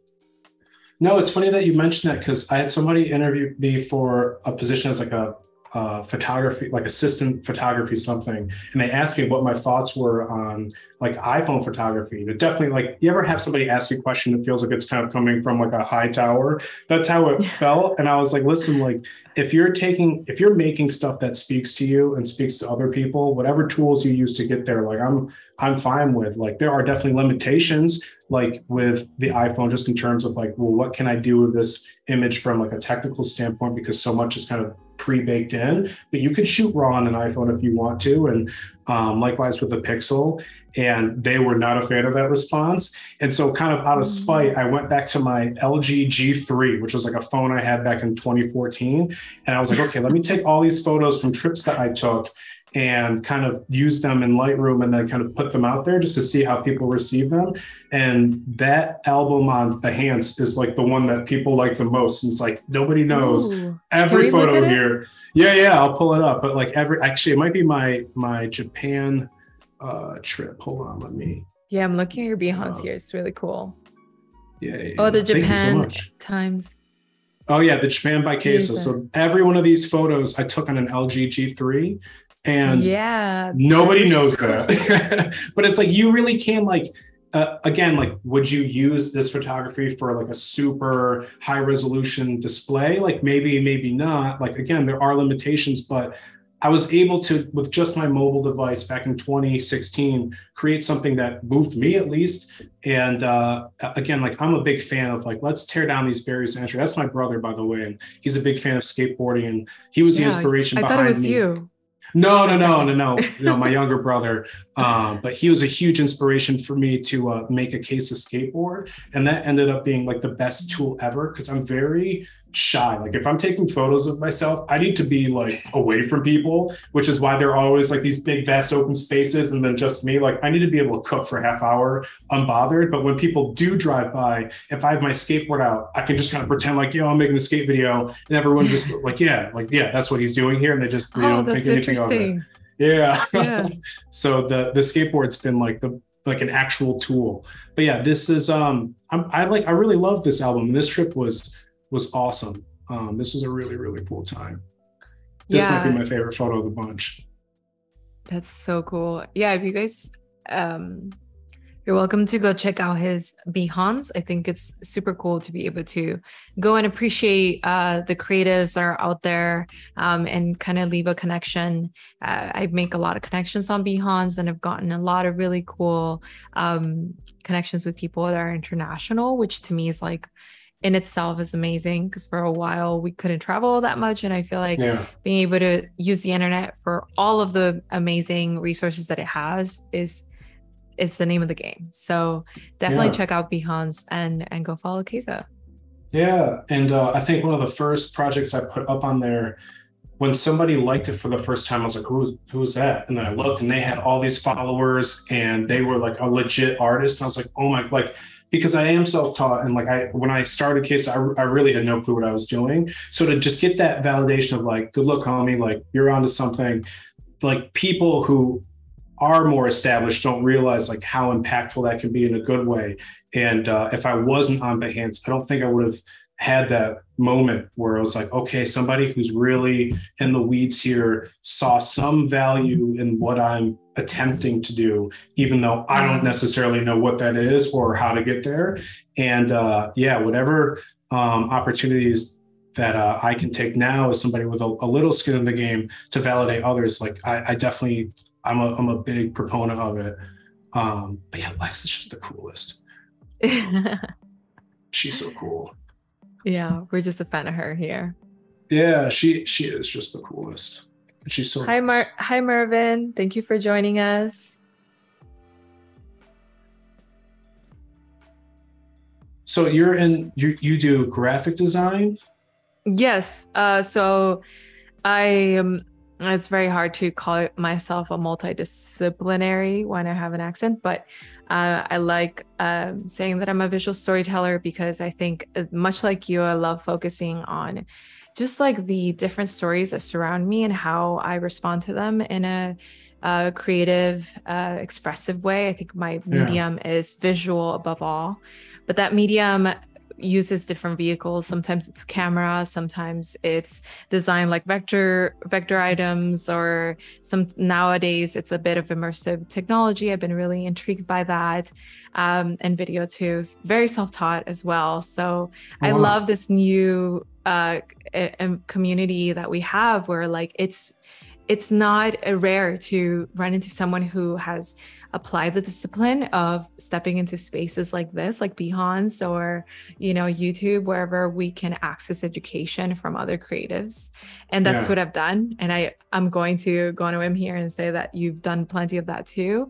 Um, the internet is a wonderful resource. And so, yeah. I, yeah, I do a little bit of all of that. And I also live stream here on Behance and it's a little bit of, um, of of everything that I just mentioned illustration doodling yeah. on the iPad just having a good old chat with with people out here on Behance so it's yeah. a lot of fun no, you're doing a great job, and thank you so much for being such a, a great host. Um, and sorry thank that you. I'm not more familiar with um with all the awesome stuff that you've been up to, but I will definitely oh, get up to fine. speed. Yeah. so I do I do have like little presets from other photo shoots that I've done. Like I'll make like if I find like like a, a setting that I'm Ooh. really, really into, I'll save it. And then sometimes I'll just literally just like flick through just like we were before, just go, okay, like do any of these jump out to me? And if the chat has any like that they're a fan of, let me know. But these are all from like older shoots. So organized. Yeah, thank you. Which is your favorite? My favorite? Or like you use the most, maybe last summer it was this one. Um, there's another. Um, I did like a shoot for, with like an Olympic lifter named Faith, and she is the most intense person I've, I've ever been around. And she's she's like 19, and I was so like this person's awesome. Um, and so the the photos from that shoot were uh, really really impactful in, in that way. And um, when I was doing the the photo shoot, I was at this like weightlifting, like this Olympic lifting gym, but it's really like a barn. And it was mm. all women who were Olympic lifters, and none of them knew me besides my contact there. And so, like, I'm trying to get all these really cool angles with my camera, and it was uh, you know, a, a, little embarrassed to say it was, it was, like the first time I really stopped to consider like what I'm asking of these women who are lifting two, three hundred mm. pounds overhead to trust this stranger with a camera at weird angles to just not be untowards. And I really value that as a photographer. Like that inherent mm. trust is really, really important to me. And um, yeah, I just like in the moment, I was like, oh my goodness, like I, I am asking a lot of these athletes to perform and to trust me and they have no clue where these photos are going. And so that that photo shoot was was really really important to me and, and i love the photos from that from that shoot. Yeah do you kind of build a, a sense of trust of like the, the person but also like what the action is like what's happening. It's there's no no better way of being present than photographing sometimes. Yeah yeah, and I think um, I think the best photographers, because I'm really reluctant to call myself one, to be honest with you. Like I think the best photographers can like have a clear idea and then execute on it, like you know, at a high degree of of um, of accuracy. And I just kind of like I'm a, like a stumble upon photographer. Like there are moments like this one where it's like I can't believe I was around for this and then I happened to take a photo of it. Like they're all moments oh, that yeah. happened to me, less so than they're like these planned things. And so I, I I'm reluctant to let go of that feeling because every time like I'm I'll go through and forgot that I took this or this picture occurred. And it's like, man, like that was a special second. And it's right here. That's I get to beautiful. keep it forever. yeah. I love I love calling a picture that a picture occurred. It just it just appeared. Yeah. No, but that's how I, I feel because it's like if you had if I had set out to take this picture, I would have come back empty handed. like that's just kind of yeah. how my my brain works. But that I was able and present enough in the moment to just hit the the shutter on, on my camera and and this was the result. It just it feels so accidental. Like I, I'm reluctant to take any credit for it really. And I love like I can spend hours uh, in Lightroom just kind of playing around with with these. But I think I was playing around with the midtones before, and these ones seem to be much warmer. Yeah. I think I was a fan of like the more the pinkish red ones for some reason. Those were speaking to me. And, so oh, we have a question here from yeah. Mervin, which I think we kind of touched on a little bit, but he is really curious um, on on how to organize or the original and edited photos. Uh, maybe we're talking about like the Lightroom albums, or what is your workflow for organizing your final images uh, once they're they're edited. Yeah. And also, Anika says, "Hi, Toren." Oh, hi. Um, so yeah, there there are a couple of approaches that I I have. Uh, one one thing I love about Lightroom is you can always revert back to the original. So you could spend hours on something, duplicate it, and then go, okay, well, I want the original one kind of right next to it. So um, I'll have the original one, and then I'll just revert to original settings. As far as like storage goes, if it's like a big big shoot, I'll have uh, I'll export from my SD card into like a giant folder and I'll call it like raw images and I'll name it after the shoe. And then I'll go through each one of those images and copy paste it to another folder called selects, like the ones I like the most. And then from selects, I'll import those into Lightroom and then I'll export those as like selects treated and then selects treated and cropped and then so on and so forth. Like, and then if I put my branding on it, I'll have like a folder called selects treated, cropped, and branded and uh, I'll just go through each one of those iterative folders, and then you end up having a ton of redundancies, and it takes up a lot of space. But um, to me, it's it's worth it just because again, like I do revisit the past so much. Mm-hmm. Um, I would be heartbroken if like I rendered a photo out at like a lower web resolution and then just deleted the original and never could go back to it for Absolutely. a different use. Yeah. Yeah, I, that makes me think also it's fair to say that at some point once your, your company grows exponentially which i have my uh, backing on it will because yes you. um, you know you hope to be able to delegate those files to somebody that can find them so i think that organization is i, I mean as a graphic designer i'm always like drooling over somebody who organizes their folders it's like yes oh, thank, thank you, you. Yeah, no, it, it, can be tough. Like once you start sharing with people and like just having like a common naming scheme. Uh, like for like I'll have the brand and then the shoot and then the photo and then the like the aspect ratio and then where the placement's supposed to go because having to yeah. send them off to clients like i have a few clients that like to post themselves and early mm-hmm. on i would send the client like the photo cropped in a certain way and, and right. with all the uh, the little tricks that i did in lightroom and then they would go onto instagram and like put their own filters on it and then crop it funny and it drove oh. me nuts so i would be like okay like let me hurts. just organize this for you because i like i cannot it's like making somebody like a beautiful beautiful meal and then they just squirt ketchup all over it. It's oh. like, why, like, oh. like, why did you do and this? Then like they mix it. yeah, it's like I plated this for hours. I used the tweezers. Like, how dare you? I feel that way when they add salt before trying it. it's like don't that's, add that is, salt. That's Try so. I would I would slap the fork out of their hand and say no. It's not. Yeah, I'm totally referring to my wife right now. So she, oh. she adds oh. salt. it's everything. No, I'm I'm half Italian, and uh, one night for some reason I couldn't find um, pasta sauce, and my wife just went to squirt barbecue sauce on pasta, and I like died. I was like, "What? like what? What are we doing? Like, you, we that this is illegal." amazing, kind of. yeah, borderline. it's uh, it's uh, I don't know, but yeah, she's like, no, Annika's here laughing with us. Annika, how do you make your pasta? Very important. Yeah, I don't want to lose all the shadows and details. So when we go back, yeah, this might be a little exposed. But yeah, I love that this shirt has some wear and tear to it. There are other shirts from the shoot that I, I think also have some uh, like wear like I train in the shirt, like I box in the shirt, do MMA rounds in it. And so I, I had to warn Lex beforehand. I was like, if this if this smells like a dude in his mid 30s uh, who's doing too much, I apologize. And she goes, It's it's all right.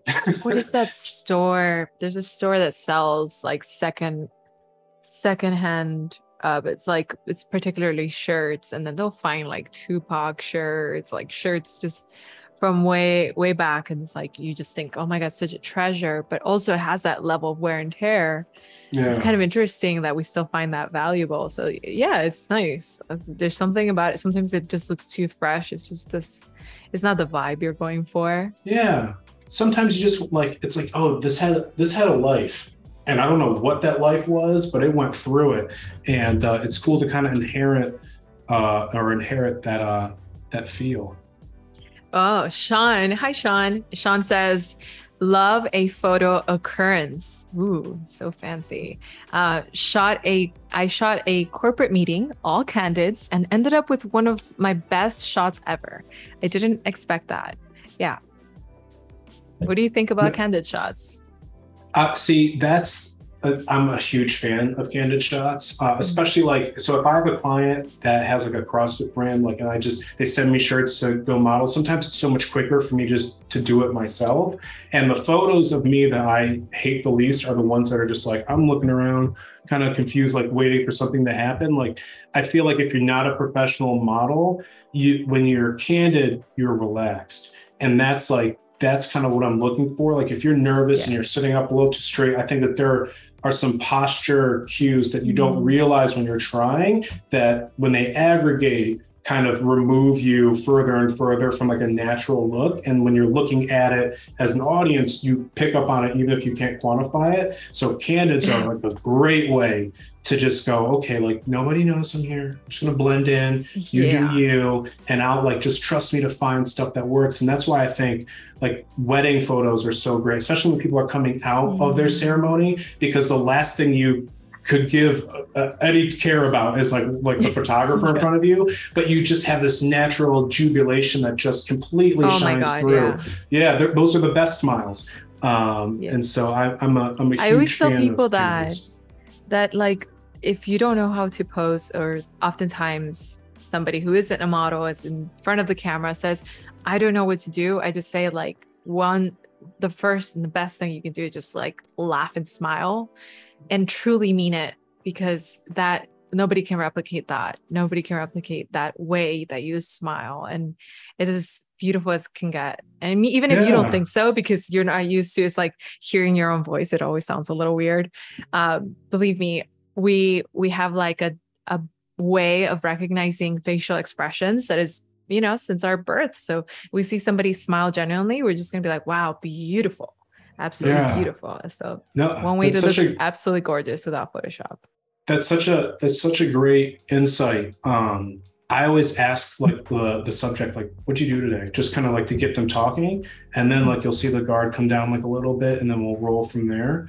Um, but yeah, any exercises you have like that, and sometimes I'll, like I'll try to assure the subject like I might have you in a pose that's a little bit more esoteric like where you're mm-hmm. pointing and you're looking down and like you're just in a position that doesn't feel natural but i'll show them right after i take the photo like just in the frame this ended up looking cooler than you like than it felt like doing like especially right. with people's eyes like sometimes i'll be like okay like put your chin to your shoulder but then with just your eyes try to look over your other elbow and you're like my forehead like my face hurts but it ends up looking more normal than if like you actually just kind of rested where your eyes naturally go because sometimes it just can be a little weird but yeah there are those like little tricks of the lens that as a, a mm. model just feel so unnatural but end up communicating in a way that's a little bit cooler.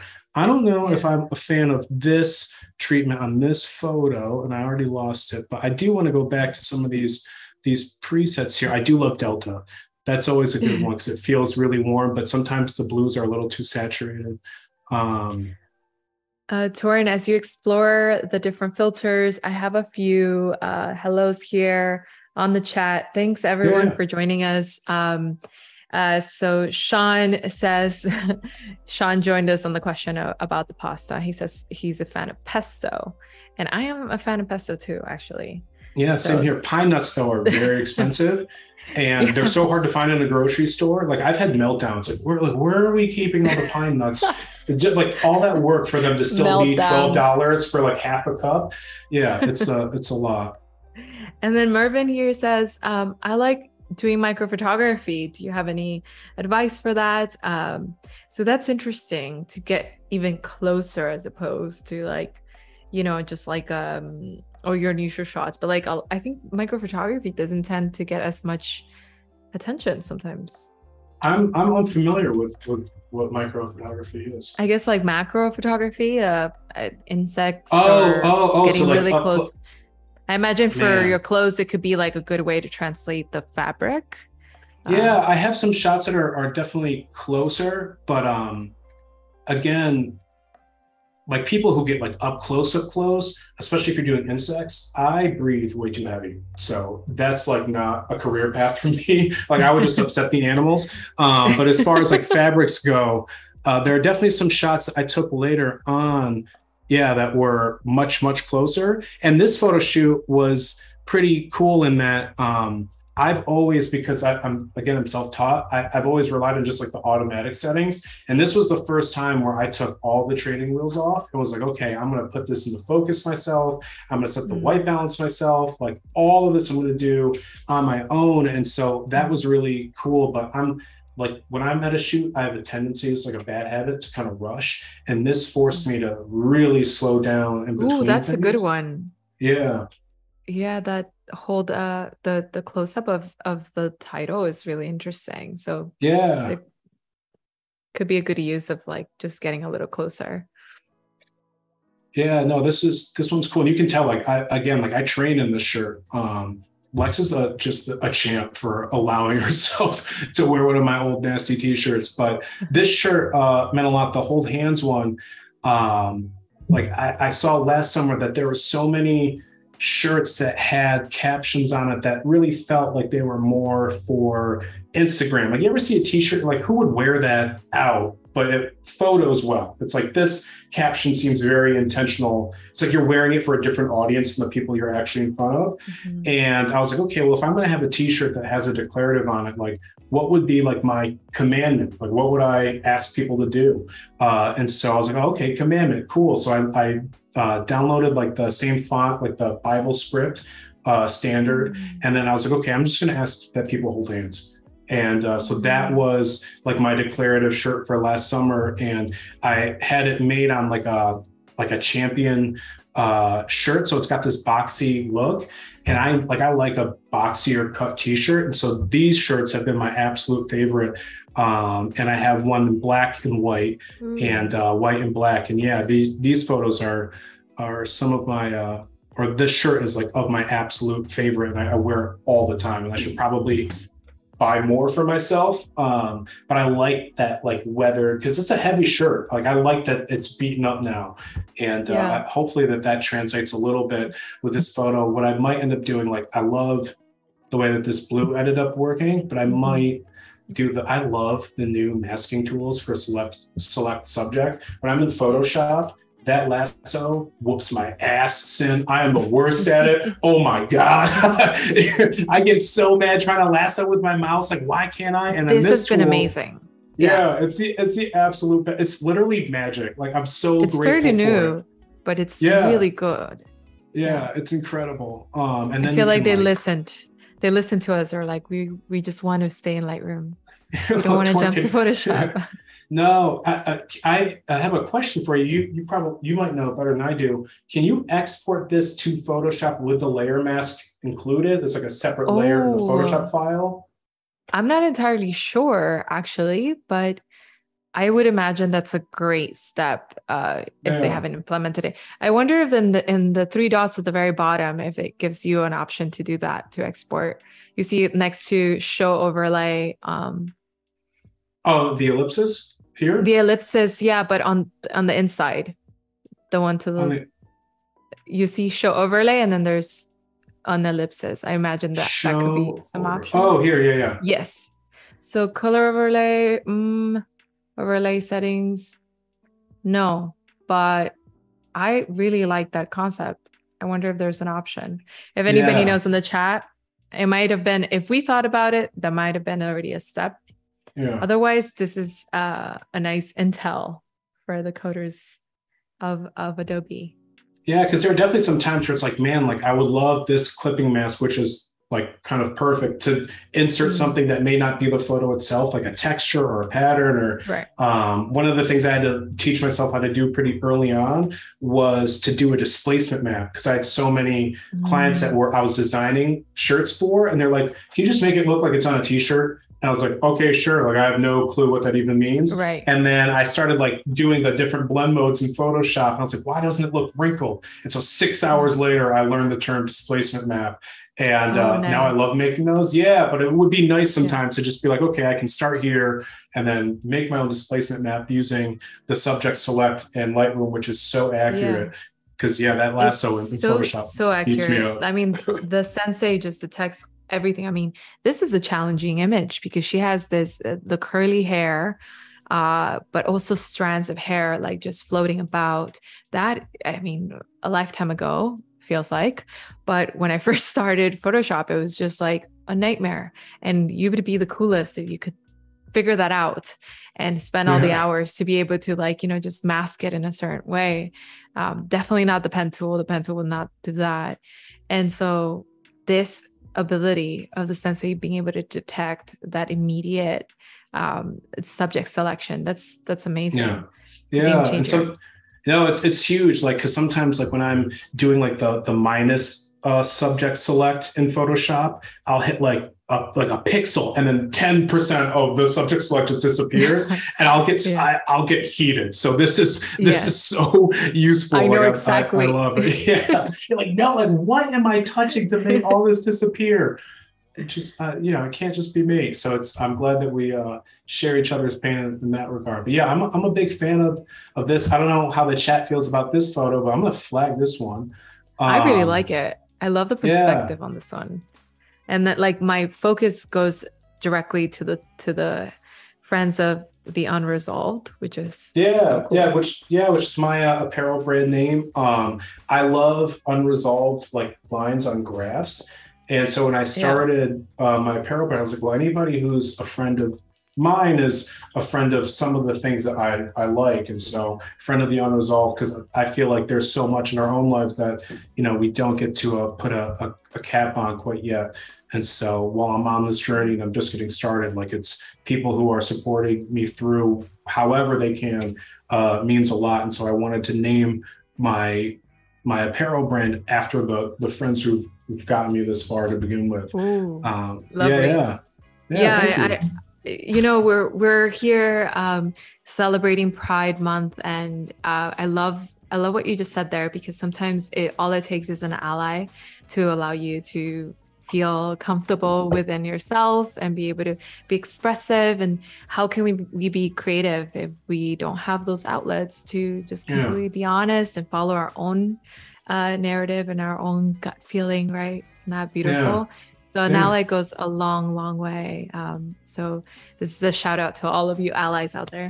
Bravo. Yeah, yeah. It's um. I, I'm I'm curious what your feelings are towards how the month is demonstrated at like a corporate marketing level, just because you're so into the weeds in, in this field. Like, do you see things that feel disingenuous, or are you encouraged just by like any motion in this direction? How, how do you feel? about it? Um, in terms of pride, is that what you're uh, Yeah, yeah. Oh yeah, yeah. If absolutely. you're comfortable, so sorry, I probably should have asked um you're. i'm not i'm not uncomfortable so it's Okay. really interesting because um uh, for me i live in texas and Okay. in austin texas so austin is so uh friendly and so in love with just people being different so i've seen so many rainbows everywhere beautiful notes of just love everybody and like love yourself and be yourself and all these wonderful statements that from a graphic design standpoint all i can think of of is how does that affect the community when there's statements of love as opposed to statements of hostility um, yeah. i I grew up in Miami, Florida, which unfortunately I have to say this, but there is very little um, uh, celebration without if it, did, it doesn't involve uh, a party or other. You know, like there's there's a lot of benefit. Uh, you're benefiting from um, celebrating this thing as opposed to just mm. i just want to i just want to be for you guys here for you guys i'm going to show up on i'm going to show a sticker on the door and tell you that you're welcome here and that it's okay to yeah. show your love you know so seeing that that that stark difference here and seeing the celebration that happens everywhere if it warms my heart i remember the first time that i genuinely saw a uh, a rainbow flag and i hmm. i thought to myself well because I've I've seen them many many times before, but I for for the first time that I saw it and I felt a sense of community because I was accepting myself too. So it was yeah. like wow that that little flag up there made me feel just a little bit more comfortable to hold uh, my wife's my if she was my girlfriend back then uh, her hand in the street. So that's it's so silly, but at the same time it's not because not isn't that the point of um, everything we make it, it it involves some kind of uh, action or emotion that gets translated over to the person who experiences it and that's when it's beautiful right like that's yeah. when it kind of does its whole journey so um i'm still in kind of uh, developing my opinion on it i would say um yeah. because my eyes just browsing and seeing things for the first time in a space that is actually embracing uh, pride. And yeah. I imagine it's more like this in other states. I mean, um, the Castro district in San, San Francisco is amazing. it's like yeah, so much fun. Unfortunately. Uh, yeah, I, I, I was there and it was just like, whoa, this is so cool. And it's all over the place. And it's statements of like just um so so talking about conviction, right? Statements of conviction. And so that's just beautiful. This just brings me back to to just all your concepts. And I love that. You, I mean, it makes a, a difference when you're designing something with a sense of conviction because you don't never know who is going to wear something or post put a poster up on their wall that's going to kind of motivate them for the day. I mean, yeah, can make a world of a difference in that respect. Is there anything that you're not seeing in how Pride Month month is approached that you wish that you saw more of, or some form of representation that you think hasn't uh, gotten its its due diligence? Mm, uh, I I don't know if I have a fair uh, response since yeah. I haven't been too in the depths of of marketing and social media as of late. I've I, and and that's kind of refreshing in a way. Yeah. But say say if I have experienced a lapse in the past, it would be just representing. Uh, for me, this is this is uh, uh, close to me is the Latinx community and mm. their perspective on being uh, in the LGBTQ plus community because our experience is completely different coming from very, very, very conservative families. And that tends to just change the experience of coming out altogether. So uh, again, allies are just become almost like a chosen family and just such so much love that uh, it involves to be um, open-minded just yeah. open-minded to somebody else's experience and in the same front of um, uh, educating myself on subjects that matter to you, for example, or subjects that you're taking on in your brand, um, to be able to ha- be inclusive or be representative of yeah. uh, the Black community, all of those things were things I educated myself on. And I realized this is a lot of work, but my gosh, did I need to do this? Like, I just yeah. needed to do this. So I love that brands are taking on that narrative more and more because it's less hush hush and it allows me to learn in different avenues. Uh, you know, yeah. be it wearing a shirt, like sure, I know why I stand for this shirt. Yeah. yeah. So no, it's really it's, cool uh, stuff.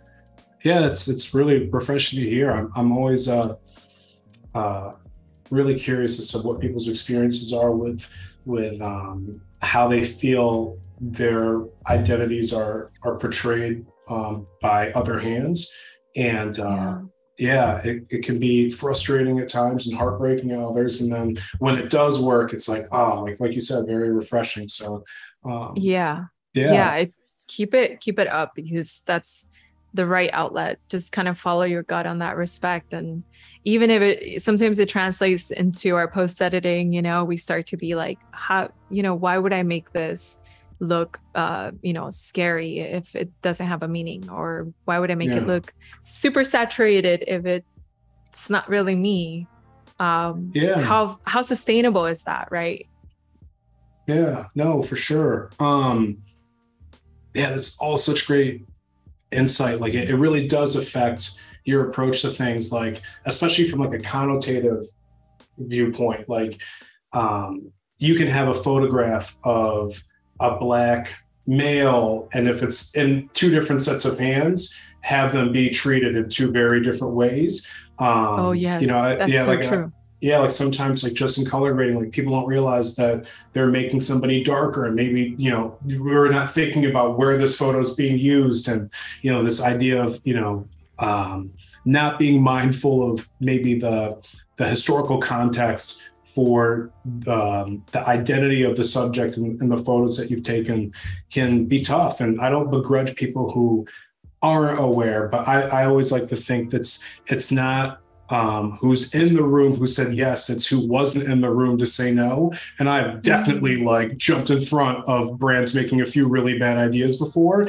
that I know yeah. came from a really good place. Just mm. well intentioned isn't always well informed, and um, it, it's yeah. great to hear that that you've got your your finger on the pulse of of what's working and, and what isn't. And uh, yeah, yeah, Likewise on your it, end. Oh, thank you. Yeah, I'm trying. I, you know, I'm I am a constant work in progress. And uh, last year for Pride Month, aren't we all? Uh, yeah, like I wanted. Well, yeah, no, but I'm a little behind. But I uh, I wanted to like I'm a big fan of pledging time um, mm. and and donating time to things. And uh, there were a couple of of LGBT or LBGTQ plus uh, resources that um, yeah, that, well, no, I, I should do a better job of it. So my, my apologies, but uh, they were they were offering kind of not like classes, but like mentorships and just some some time that I could spend. And um, I really do like doing stuff like that where I'm like I'm learning in real yes. time from people who are are comfortable with with sharing because it, it can be tough. Mm-hmm. Like having been the only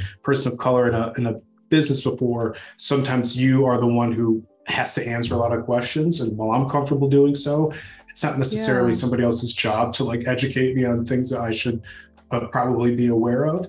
Um, so mm-hmm. I never take for granted when people are comfortable with it, explaining it and being patient with me and generous with their experiences yes, so that they can explain it. But yeah, I, I I am a big fan of this picture. I did a, a hat for Kesa. Uh, my wife's whole family are huge Buffalo Bills fans, and I don't like football to be honest with you. Uh, but I was like, if I'm going to like football, I'm going to do it on my own terms and design some stuff around it.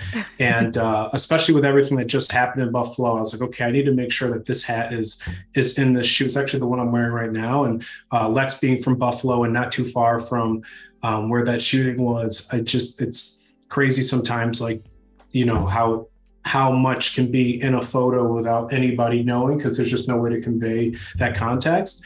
Um, but yeah, this one in particular means a lot to me. Just having Thurston in the background, you know, literally on the corner of where I grew up. And um, I told Lex during the shoot, I was like, this is literally my dream, like to be able to represent my street in a in a way that's uh, positive and strong and, and thoughtful. And then to have you here just kind of like powerful. the, yeah just so powerful and so focused um, and wearing clothes that have lived the life for the past year of me while i'm trying to figure out because when you start off on your own as a freelancer or as a contract hire you don't realize it but while you're learning new skills and a technical sense towards your your art you're also learning yeah. like how to run a business and man like there are yeah. so many lessons that nobody tells you and i've bumped my head on just about all of them but uh, it can be daunting at times like especially because i'm pretty naive like you wouldn't I, you wouldn't believe some of the horror stories of people who you know leave you with a bag you know like you do all the work for them and then they just don't pay you or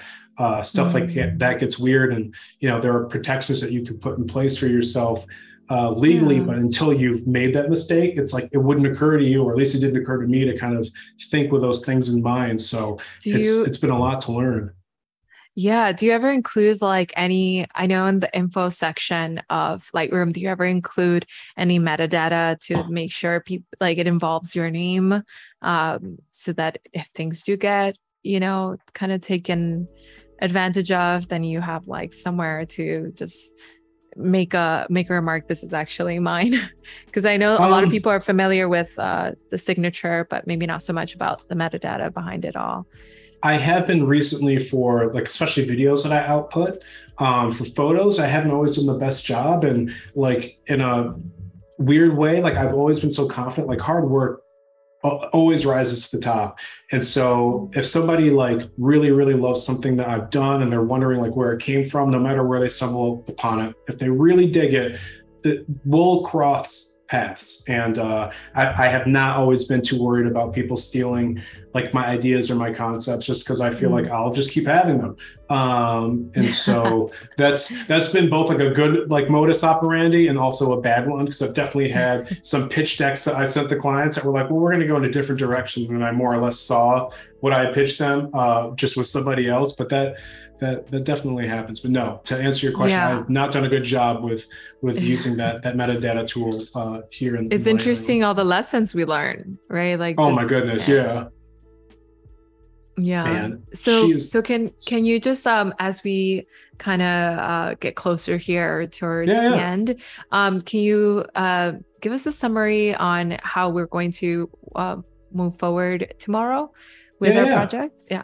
Yeah. So t- tomorrow, um, I'll go uh, when we're offline. I'll finish kind of color grading these, and then tomorrow we'll um, start bringing them into Adobe uh, Creative Cloud Express just to start doing those like social mm-hmm. placements and getting these ready to kind of launch um, on my social channels and just kind of talk through. Maybe we'll do like an Instagram um, post and then like an Instagram story post, and then kind of walk you guys through how iterative I am with that, with just where I place the, the logos. And then um, maybe we'll even post a few while we're live and, and take it from there. Um, and if there is time, maybe walk through like an editorial or, or something along the lines because I love putting together editorials. It's like my absolute yeah. favorite. Um, but yeah, this is. What do you use for the editorial? InDesign. We're still we still have time. Don't worry. We still, oh, okay. Yeah, no, I was like, oh, shoot. Out. Yeah. um, um, uh, you use InDesign for editorials. Oh, cool. Yeah, yeah that's yeah. that's the place to be. Um, do you use Adobe Express? Yep. So I'll oh, okay. switch between the two, like depending on ah. on what I need. Like if I need like a quick social placement, InDesign seems a little robust for that. Um, mm-hmm. Um, so if it's like, man, like I have an idea, I've got a photo, let me just create a project on uh, Express. And one of the things I love the most about Express is that it really lowers the barrier to entry for people who are just getting mm-hmm. started. Mm-hmm. So with like a lot of the students that I work with now who are in Rochester's inner city, you know, there are a lot of hurdles to clear financially if you want to do this even kind of as a hobby just like you have yeah. the equipment to take the photos you want do you have the computer to run lightroom in a way that's you know workable um, but with express everything's kind of handled offline or like remotely through like their server so you can get into some um, you know ground level graphic design and and uh, you know editorial design and, and placement mm-hmm. design without needing to have everything and i think that that's uh, right. uh, i can't overstate how important that is to to make it more ubiquitous like I, am a huge fan of the democratization of skills and and assets yes. and the more people who have access to stuff the better yeah also it's just being able to have those creative assets to communicate your brand is really wonderful um actually yeah. um this reminds me there's always a, a, opportunity for you to replay any of these videos on behance or youtube where you can find other creators uh, like for example voodoo val who actually um, uh, worked on a project of with um, adobe express uh, oh, wow. for social posts. So you can also check that out. Um, yeah I, I love being able to check out the replays although we lose the the really cool factor of joining the chat. So definitely say hello in the chat if you just join us or if um, you're ready to join us tomorrow, make sure to keep up with that. uh, yeah, as we continue here with uh, Toren on all of the different Lightroom photos, and um, we'll continue editing. Yeah. Yeah. Are, are, there any questions from the chat or? Um, uh, let me check them out. I know Hassan said. Hassan said, uh, "Hi," and then I want to download Photoshop in Windows 10 for free. Can you please help me for free? I mean, honestly, like uh, you don't have to get the entire Adobe Creative Cloud. I think that there's different uh, subscription methods, right? Like yeah. I, I have the entire Adobe Creative Cloud because I can't help Likewise. myself. Um, yeah. it's like once you learn one, it's so easy to learn the next, and it just becomes like candy. So um, definitely check out Adobe and see if there's different options for you. Um, I know they have a free trial also. Actually, Sam just touched on that. So they have a free trial uh, and then a subscription based, which uh, also unveils the different features once you're subscription based. I know with Lightroom, you have accessibility to some uh, filters that yeah. Uh, were created within Lightroom to help for situations like being able to yeah. edit skin color uh, so that you're able to stay true to uh, your subjects or um, color and kind of take care, have some presets uh, there so that you don't have to kind of start from scratch. Those yeah. are available within the subscription. I'm rolling through them right now. I think the premium presets. Yeah. Yeah, these are cool. Yeah, those are cool. And then there, there's also other cool, more oh, creative like ones one. like cinematic and uh, yeah. Sometimes oh. I use them. Yeah, sometimes I use them as like a base of foundation so yeah. that you you're still able to edit them they're not fixed in place yeah. so you can always kind of go from there and say man i don't i want it a little cooler or actually i want it more contrasted and yeah i, I love a good point. launching point yeah that's uh that's huge i actually I just cinematic cn11 i am feeling oh yeah, yeah, yeah, It's tough though because I'm looking at this cool. on two different screens, and on the screen in front of me, it's not so saturated, and then on the other one, it's super saturated. And I'm, oh, that's like, so tricky. Yeah, so it's like, okay, which which version are people seeing on their feeds? Because they either think that I'm like dead inside or super candy, and I don't know, I don't know which one to do. Uh, yeah, but yeah, to. by tomorrow I will have this problem solved for sure. But uh, even just going through like just emotionally, like my um, like my thought process for the you know the project and Lex and making sure she's comfortable with the photos and how she wears the clothes. Um, again, these are the the um, remember our first date shorts like um, actually i think we went we touched up this photo. This is an outfit i wear all the time. Those these are actually my glasses.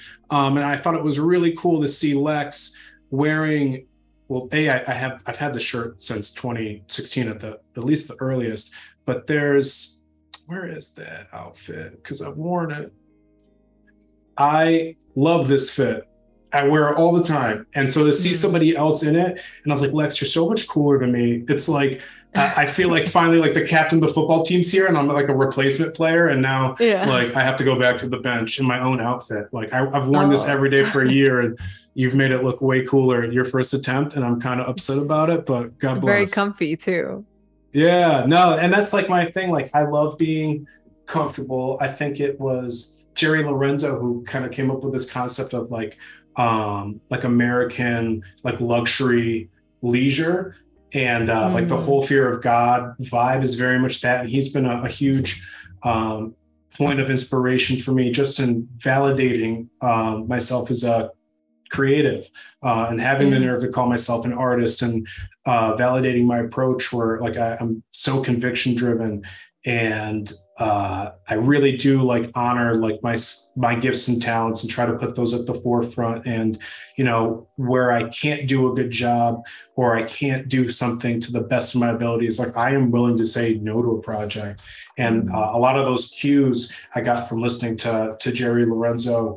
Um, you know, I think I stumbled upon him back in 2018 because he was coming out with the Fear of God sneaker with Nike, and it's this brand new silhouette. I don't know if you're into sneakers at all, but uh, a lot of designers will get like an existing silhouette of sneaker to like put their own spin on. Almost never does somebody get their own sneaker mold from the ground up. So like you'll mm-hmm. see like designers design like a Jordan 1 or Jordan 4 but to have like a completely brand new silhouette almost never happens. And he got one for his first collaboration with Nike. And when they was asking him about it, he was like, I honored this so much that if I couldn't do it to the best of my abilities with my gifts wow. and my talents, I was willing to say no.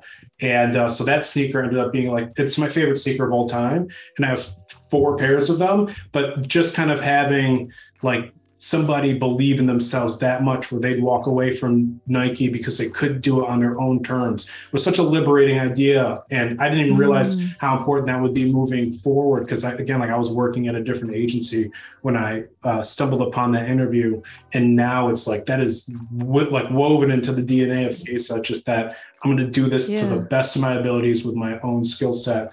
And I'll, like I said, I'll, I'll say no to stuff that that doesn't live up to to that standard. Yeah. And it's really in- interesting to stay in tune with what what is that standard for you? Or what what does it mean for you so that you know okay i can detect this doesn't coincide with that. So yeah. I can say no and be happy and be okay with that. Yeah for sure. Yeah. um are there any photos in particular that the chat is feeling that they want to see kind of carried over to tomorrow? Um i mean definitely about it I really like that one with the perspective underneath. Oh yeah. Yeah, that one's really cool. Yeah, this one and also also that one.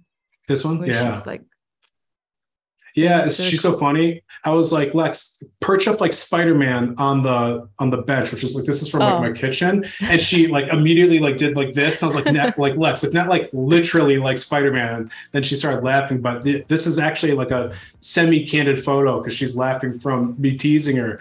And uh yeah, like I love moments like this. Like this isn't like an occurrence. Like I, I could never have planned for a moment like that. I feel so lucky that I was able to have it and then to be able to share it with the world. Like, you know, growing up and oh, going that. to a prep school. Yeah, for people who are just uh, entering the chat now, like I went to a uh, a very, uh, you know, like a nice prep school in the suburbs, and there were friends of mine whose parents wouldn't let them spend the night at my house because where I lived made them nervous. And mm-hmm. I'd never felt like that reputation of my street was fair or accurate. And to have an opportunity now to show the world, no, this is really where I came from. Like there's beauty here and there's safety here. Yeah. I have some of my best memories from being a kid up until last weekend when we did the shoot come from this humble place. Um, and when I started Kesa, my very first brand tagline was good things can come from anywhere and it was in reference to this and now to be able to mm-hmm. to show that to the audience here on, on Behance is something that I, I do not take yeah. for granted. So for everybody who's popped in uh, thank you and, and send to, to you as well. Thank you so much for being yeah, such an awesome absolutely. generous thoughtful host. Yeah absolutely. Yeah uh, actually phil here says the spider-man shot was their favorite too so you're you hit that one on the on the target. Yeah really cool. Yeah, yeah I, I think it's one, one of well it's one of those things that like to be able to reconcile your relationship with a place you grew up with and be able to represent or express something that's a bit more accurate to the, the actual narrative. Like I, I noticed there was an image you had where you were in a, an abandoned location, it looked like. Um, and I was like my this my one? head went, whoa, cool. Um, there was one that I think uh, maybe it was right at the start um, but yeah, there was like a, a location that's a bit tagged up and um, yeah, it reminded me of a spot that is that's familiar to me in in Miami too. That you know, it's a, for for better or worse, it's abandoned, but it ends up being taken over by like really cool artwork that yeah. you know most people would denounce as you know, you know, this is just street like stuff but in reality it's actually folks that maybe don't have too much accessibility for technology or anything like that and they find an outlet to be creative and isn't that worth celebrating at the end of the day? Yeah. No I, and i love the texture. Like i'm a huge fan. It's funny that you mentioned it. Like i love areas that have been like reclaimed like generally generationally. So like you have like the original structure and then you know life just kind of happens and there's graffiti all over it. And then yeah. you know eventually those people move away. And then like literally like plants overtake it and then you've yeah. just got like these different layers and it's like whenever you see like a like a cut of stone and it's like oh like this a bit of crust is from the, the jurassic period like i love that people can kind of take those core samples and uh, i try to or at least i have in the back of my mind when i'm having things in the background. Um, and Rochester is really funny where like there are these little angles where it looks like a completely different place. Because um, for the most part, it's kind of your standard city. Um, but every now and again, you get this like little flair, like this little accent of of something mm. a little bit mm. different. And uh, where I shot this on Westfall Road, you would drive right past it and never know that that's where that photo was taken. Um, and I love that we were able to kind of explore and and find that. But yeah, this uh, this area was super tagged up, and I ended up while I was shooting, I had a pair of LeBrons on, and uh, a nail went right through the bottom of my oh. shoe. And yeah, it just managed to not stab me in the foot. So Lex was like, "Do you have tetanus now?" And I was like, "I probably do." And then it turns out I'm still here. But yeah, but more I, importantly, you lost a shoe. No, so the, actually somehow the the airbag didn't deflate, so I got very lucky. Um, oh. and I don't have tetanus, and everything worked out. There you go, fancy shoes. Yeah, that's funny. Yeah, why not? yeah these are so fun but yeah i'll go through the, the rest of these for tomorrow and then we'll we'll load them up i think i have a yeah. sense of what people like um, color grading wise and uh, this photo also is is a, a, fan favorite i just love that she's so great like i yeah. can't speak i cannot speak uh, to lex's superpowers enough um, yeah this this whole vibe is just it's so crazy. I love um, that yeah. yeah i'm like tripping over any... the fact that it happened. Yeah. Do you have a, from from our conversation today do you have uh, a few tips that you would like uh, the audience that maybe just caught on um, to keep in mind? Yeah um it from any perspective so if you're conducting a photo shoot always check in with the subjects. Um, you know they're lending themselves to you even if they're professional they're still mm-hmm. trusting you with their their time and their likeness and um, you know it, that that's important. So make sure that whatever you're doing everybody's as comfortable as possible. And i think sometimes like you can ask somebody are you comfortable with something? And they might just acquiesce because they don't want to ruffle feathers. Um, so if you get the sense that they're not comfortable with it just pivot and then that kind of starts to speak to people that they are empowered to to vocalize their concerns in real time and that you will address them um, and then from the actual lightroom portion of things iterate uh, try different things, spend time with stuff.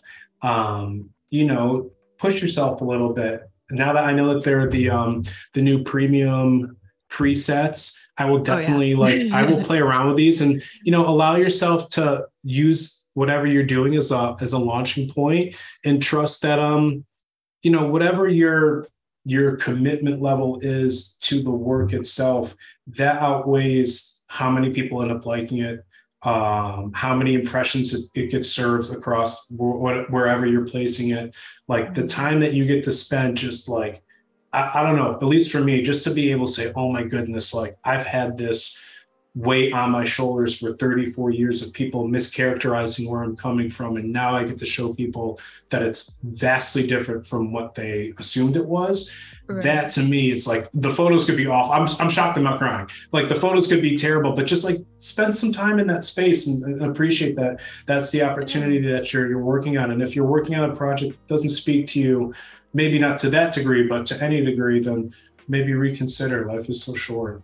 Right. Sometimes it's not so much about reinventing wheels, but like, or creating, innovating, and all these grand things. But sometimes it's about revisiting something that needs a little polishing, like to be told a little bit better. Yeah. Uh, a little bit more genuinely. yeah, yeah. And I think that's that's wonderful because sometimes that gets overseen and I've just been like, okay, well, that's the standard status quo what else can we do?